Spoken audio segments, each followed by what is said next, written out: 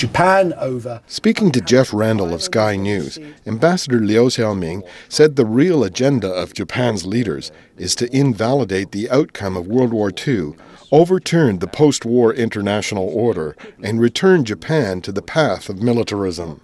What the British people will feel about if German leaders pay respect to Hitler and other leaders of Nazi, I think you know, by comparison, you may have a better understanding of, the feelings of Chinese people. Ambassador Liu Xiaoming also discussed reforms in China. Comprehensively deepening reform.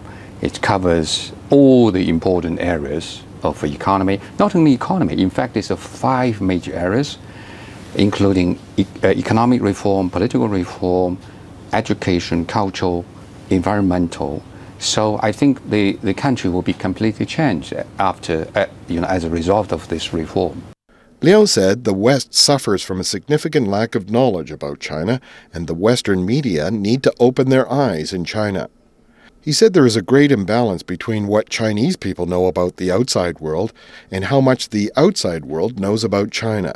Liu said there is still a Cold War mentality, especially among some people in the West. These people, he said, view China through tinted glasses and only see a stereotype rather than reality. Bill Siggins, CCTV.